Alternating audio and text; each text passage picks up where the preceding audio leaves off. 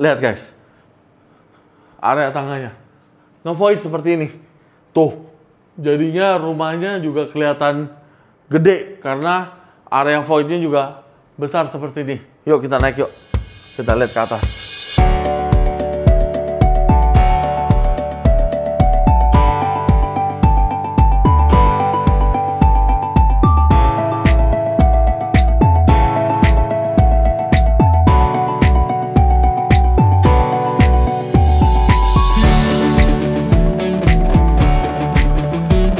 Semuanya, ketemu lagi sama gue Dodi. Pastinya kita mau nge-review satu rumah contoh yang keren. Pastinya di kawasan BSD ini.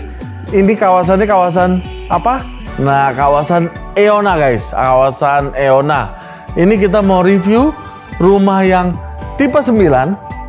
Kalau yang tipe 9 ini panjangnya 16. Jadi 9 kali 16. Ini dia rumahnya. Kita lihat. Wow, rumahnya. Keren ya guys ya. Dengan konsep rumah tiga lantai, model minimalis modern seperti ini. Ini kawasan Korea. Semua di sini Eona. Nama klasternya aja. Klaster pertamanya Aira. Klaster keduanya Name. Berarti di sini kawasan Korea. Berarti nanti bakal banyak area-area komersil yang ke Korea-Koreaan semuanya. Jadi lengkap. Ada kawasan Korea di sini. Nanti juga ada kawasan Jepang mungkin. Ada kawasan apa lagi? Semua sudah lengkap di BSD. Nggak ada yang kurang satupun. Oke, kita mau review rumahnya. Bedanya kalau yang tipe 9 ini ada satu garasi di dalam. Selain carport muat dua mobil, ada satu garasi di dalam. Kalau yang tipe 8 belum ada garasi dalamnya. Yang tipe 9 ini sudah ada garasi dalamnya. Modelnya juga sudah sama semuanya. Jadi rumahnya kelihatan manis, kelihatan keren. Dari luar nggak kelihatan berantakan. Karena apa? Untuk kanopinya semua sudah dikasih. Modelnya sama semuanya. Oke, kita nggak masuk dari garasi. Kita masuk dari pintu utamanya untuk lihat keseluruhan dari rumahnya. Yuk kita masuk. Oke, ini dia. Ini kita sudah masuk ke dalam rumahnya. Tutup dulu guys pintunya. Biar rumahnya tetap adem, tetap sejuk pastinya. Oke, kita sudah masuk di lantai dasarnya. Ini lantai dasar dari rumahnya. Lantai pertama. Ini untuk ruang terima tamu seperti biasa. Di bawah tangga ini kalian bisa manfaatin. Nanti kalian bisa desain interior mungkin untuk tempat taruh pajangan, terus juga tempat taruh sepatu di sini ya. Itu bisa didesain dengan sangat manis pastinya. Dan ini satu kamar di bawah di lantai dasar. Nah ini dia. Kamarnya juga nggak kaleng-kaleng, kamarnya juga nggak kecil. Ini kamarnya enak, bisa masuk queen. Kalian bisa masukin ranjang yang queen bed. Juga ini untuk ruang meja dandan, kalau kalian nggak butuh meja dandan, kalian bisa bikin lemari. Bahkan lemarinya kalian bisa bikin nge-letter L seperti ini. Dan penempatan AC nanti kalian bisa pindahin ke sisi lain. Oke, ini kamarnya cukup besar dan juga lantainya sudah seperti ini, pakai SPC seperti ini. Lebih nyaman, ada perbedaan corak antara lantai kamar dengan lantai di luar di ruang terima tamu seperti ini biar nggak bosen ya warnanya dan juga nggak ketinggalan ada tamannya juga seperti ini. Nah ini asik ya guys. Ada tamannya seperti ini. Jadinya pencahayaan juga sangat oke. Okay. pencahayaannya bisa masuk matahari dan juga sirkulasi udara juga sangat enak. Nggak ketinggalan ada satu kamar mandi. Ini dia. Ada satu kamar mandi untuk mengcover di lantai dasar. Seperti biasa, kamar mandinya juga sudah lengkap. Semuanya shower untuk area kloset dan juga untuk area wastafelnya. Nggak ketinggalan, masih ada satu pintu di lantai dasar ini. Yuk kita lihat. Ini tembusnya ke mana? Nah ini dia. Tembusnya ke area garasi. Garasi yang tadi. Tuh dia. Ini dia. Tembusnya ke area garasi. Nah ini. Ada layoutnya guys. Tuh, ini taman yang tadi, taman yang besar. Dan ini ada satu taman lagi yang kecil. Kita mau lihat karena dia nyambung dengan area dapur kotor. Kalau taman yang besar tadi yang dari sisi dalam rumah. Oke, kita masuk ke sini. Ini dia satu kamar mbak. Di sini ada satu kamar mbak. So pasti ada kamar mandinya juga untuk mbak. Nah ini yang di layout tadi. Taman area taman kecilnya seperti ini. Dan ini langsung sirkulasi udaranya ngeplong, enak. Jadinya kalau kalian masak udaranya juga so pasti langsung keluar, nggak ganggu ke area dalam rumah ya. Nih dia, ini area dapur kotornya. Dan ini pintu tembus ke taman yang samping tadi. Ini area dapur kotornya. Nggak ketinggalan, untuk yang lebar 9 ini ada tangga loh. Ini tangga, jadi kalau kalian di dalam ada tamu, ini mbak bisa naik dari sini tangganya. Jadi nggak ganggu tangga yang di depan. Tapi kita nggak akan naik dari tangga sini, kita akan naik dari tangga di dalam rumah. Nanti kita lihat tembusnya dari mana untuk ke tangga ini lagi. Yuk, kita balik lagi ya. Kita masuk ke dalam rumahnya. Oke, kita udah masuk lagi ke dalam rumahnya. Kita masuk lewat tangga utama. Kita tutup dulu pintunya. Ini anginnya lagi luar biasa nih anginnya. Oke. Oke, ini udah masuk. Lihat guys. Area tangganya. Ngevoid seperti ini. Tuh. Jadinya rumahnya juga kelihatan gede karena area voidnya juga besar seperti ini. Yuk kita naik yuk. Kita lihat ke atas. Modelnya di void seperti ini. Naik tangganya juga enak. Naik tangganya juga enak. Ini sama dengan tipe-tipe Eona yang lain. Lantai duanya dibuat ngeplong seperti ini. Jadi kamar ada di lantai satu dan kamar ada di lantai tiga. Lantai duanya full dibuat untuk dapur bersih, ruang makan, ruang keluarga, dan ada sedikit ruang kerja. Jadinya lantai dua ini tidak ada sekat untuk kamar, enak. Jadi lantai duanya kelihatan benar-benar gede banget di sini. Konsepnya bagus ini, konsepnya luar biasa. Jadi rumahnya enak begitu kalian naik ke lantai dua, begitu kalian ke ruang keluarganya kelihatan ngeplong sekali. Ini untuk area dapur bersih, masih bisa taruh meja bar seperti ini, dibalut dengan jendela besar pastinya, dekat ruang makan.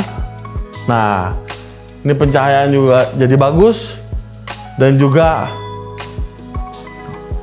ini untuk ruang keluarganya buat area-area nonton di sini dan ini kalian bisa manfaatkan jadi ruangan kerja di sini.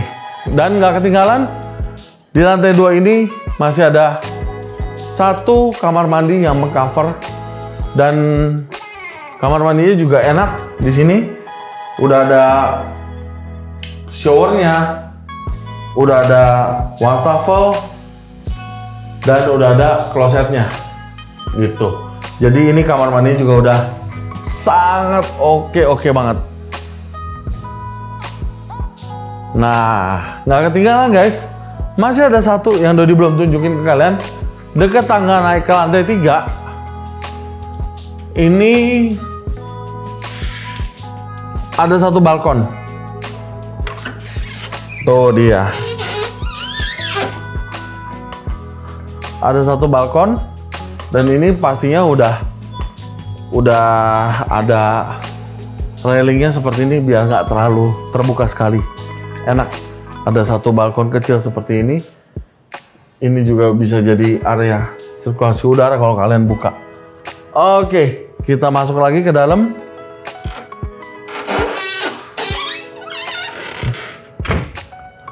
Kita mau naik ke lantai tiganya. Ini enak banget ya. Keren sekali ya. Pasang lampu dari atas. Besar seperti ini. Karena ini voidnya benar-benar sampai bawah. Jadi kelihatan mewah. Mewah banget. Wah, rumahnya sih asik. Ukuran cuma 9 kali 16.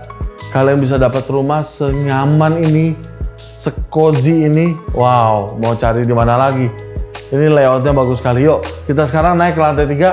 Pastinya di lantai 3 full kamar. Kita mau lihat seperti apa di lantai 3. Kita naik ke atas. Kita lihat lantai tiganya. Wow, ini dia lantai tiganya. Lantai tiganya juga sangat enak guys. Masih ada sedikit ruangan yang bisa kalian taruh untuk ruang pajangan pastinya, biar lebih nggak kelihatan kosong. Nah, ini kamar anaknya yang unik. Kita lihat dari sini dulu. Ini kamar anaknya. Kamar anaknya lega seperti ini. Tapi kamar anaknya ini nyambung kamar mandinya.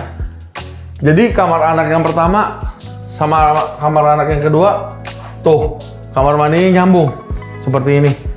Yuk kita masuk ke kamar yang kedua.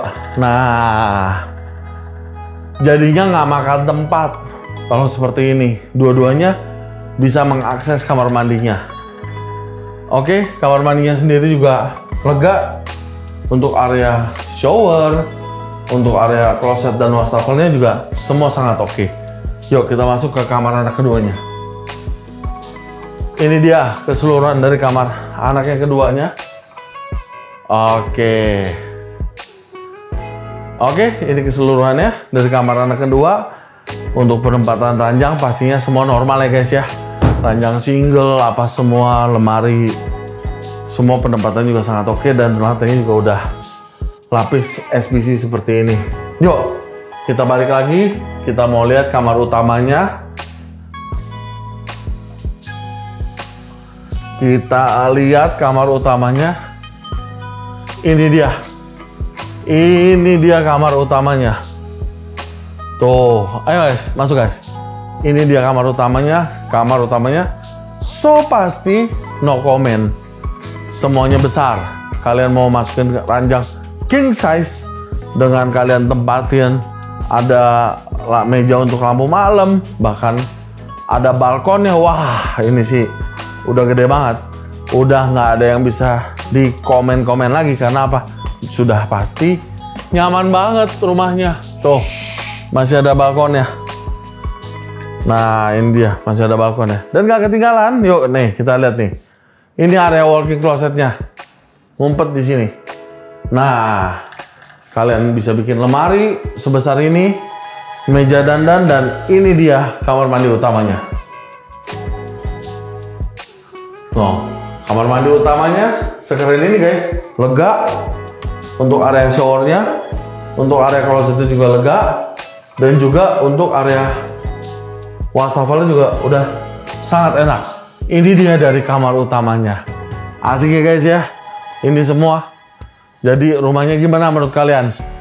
Kita udah muter-muter dari lantai dasar, lantai satu, lantai dua, atau disebutnya tiga lantai lah ya, lantai satu, lantai dua, dan lantai tiga. Gimana gimana menurut kalian rumahnya? Ciamik, rumahnya keren. Kalian boleh datang ke sini. Nanti Dodi temenin ke rumah contohnya. Janjian sama Dodi. Ada nomor di layar ini yang bisa kalian hubungin. Kita langsung lihat show unitnya langsung. Kalau kalian lihat di video misalnya, aduh pengen lihat langsung nih biar lebih nge-feel gitu ya. Kalian bisa janjian dengan Dodi. Nanti Dodi akan langsung sapa kalian, kalian hubungin nomor yang ada di layar ini. Boleh WA, boleh juga langsung telepon Dodi. Oke? Nanti untuk harganya sama seperti di rumah-rumah BSD yang lain. Kalian bisa cash keras ataupun kalian bisa Mau KPR tanpa DP juga bisa karena DP-nya bisa disubsidi dari developer. Ini rumah harganya mulai dari 5,5 M aja. Mulainya dari 5,5 M aja ini kalian bisa milikin rumah ini. Oke, sampai di sini video kita di kawasan Eona klaster Aera uh, tipe 9. Untuk lebih jelasnya jangan lupa guys cepetan hubungin Dodi. Tahun baru, rumah harus pada baru dong. Yang kemarin belum pada putus-putusin mau beli rumah yang mana? Yuk cepetan hubungin Dodi, kita ngobrol lebih banyak lagi biar kalian bisa putusin mau ambil rumahnya yang mana. Sampai di sini videonya untuk tipe 9 di kawasan Yona. Kita ketemu lagi di video-video yang menarik lagi. Yang lainnya kita akan ngebahas rumah-rumah yang lain atau ruko-ruko yang lain, bahkan juga kafling komersil yang lain. Semuanya worth it untuk kalian beli karena BSD City ngebangun satu kota mandiri yang sangat luar biasa dengan kawasan sekarang sudah mencapai 6.000 hektar. Kawasan Ewana ini dekat sekali, de dekat dengan uh, Jatim Park, dekat dengan Isfara, dekat dengan Teravia karena kawasan ini dibentuk sebegitu modernnya dan pastinya jalanannya juga gede-gede ya guys ya. Oke, sampai jumpa, tetap semangat dan dadah. Sampai ketemu di video-video berikutnya. Ciao.